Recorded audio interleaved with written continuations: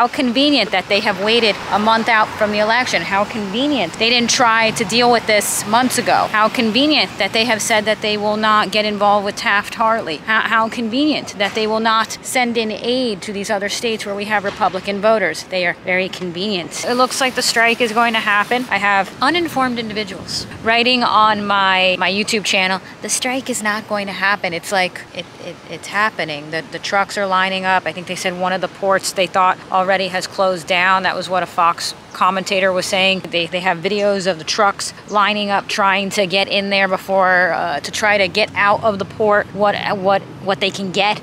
There's a ripple effect that occurs. The truckers, as they explain, get paid per delivery amount. Their, their jobs are in trouble now, but no, no, it's great because, you know, it's great. I don't know how many days this is going to last. This is going to be a catastrophe for the economy. The economy already is shit. I don't think I have the energy in this video to try to appeal to the Democratic voters, especially the ones, some of them who, who may at some point mature in their life. Maybe somehow you'll see the light and you'll vote for Trump and you won't vote for someone that's going to destroy the country. And now we're having a, a strike happening, which is going to send our economy potentially into a depression. That's dad, so you know who that is. Now, I didn't necessarily think that this was going to happen. Some of you had mentioned to me that this had been looming for a while, which is a good point to make, in that they knew this, the Biden Harris administration. They knew this more than the average person, and yet they conveniently have waited. And again, they're making comments that they're not going to send in one drop of aid to these areas where people are suffering. And also because a lot of those areas tend to be these swing state areas where they know there's a lot of Republicans, that people are going to suffer now with this. I'm very worried, worried about how long this is going to be. If it goes on one or two days, that's that's bad. They were talking about the recovery time you know that that one day can be a week or a week is a month i don't know but it's it's very bad. If it lasted three four days that would be considered we got off good but i don't know. I think that they are so enraged these people due to the economy. Their demands besides the the concept of their demands taking it away from that part everything is heightened okay the inflation the economy the crime the border crisis. So everything is inflamed and and they are enraged. And i think that they are capable of this going on longer now as opposed to had this been 10 years ago. Another one of my brilliant commentators they wrote on my channel they're like what does harris have to do with this? She was the border czar. She let in 21 million people this contributed to inflation because we have to support them financially. This has made people not too happy, including the union people, okay, as they think about their wages, as they see the inflation in the grocery store. And then I had people going, well, that's why they're upset. They're, they're upset about the inflation in the grocery store. It's like they're upset about how we got here. That's what they're upset about. That's the deeper core to this.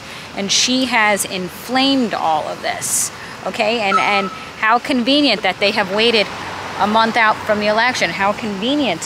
One of my running jokes I have on my channel is about your eggs being becoming $45.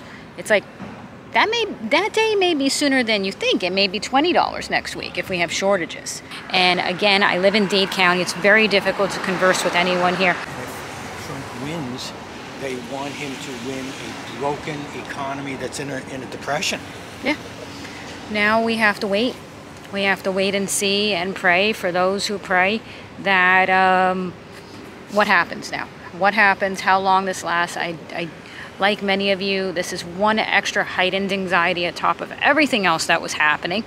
Okay, economy, like I said, was shit before. Oh, now we now, have to wait and see what happens with this. Happen and with the Christmas season. Christmas season. Anyone who works in retail, all these things, all these domino effects. You know, like she's great, she's cool, she's swell, she's brat. I don't know these different words they've come up with. Well, if any of you have one of those jobs, your job may now be affected. So you could come up with cool words as you're sitting at home unemployed. Well, when the eggs go when the eggs go up. Well, your job may not need you. If your job doesn't have things to sell, your job your job may not need yeah, you. So you could be at home thinking about how you're voting for her. The inflation's going to go up even higher now. We have to wait and see what happens and really, really hope that this doesn't last more than a few days. Very, very worried. I don't feel well anymore from it, and I'm sure you guys don't either. Okay that it's just one shit on top of another. And and we don't feel well. I didn't feel well before. We felt exhausted before. And now it's like now now we have this to deal with. What you But- doing? well that was a comment that charlie kirk had said. He said it sh- the race should not be as close as it is. Open border crisis lunatics running running all over the place. That, as charlie kirk put it the race should not be this close. Crime is out of control. The open border crisis. Friends all over the place. It's difficult to go outside anymore okay? printing money like inflation. crazy. printing money like crazy in order to support them in five star hotels. In inflation through the roof. Heading towards hyperinflation. It should not be it should not be this close. If she gets in, you'll have 50 million per year coming in. Within four years, you won't recognize the united states anymore.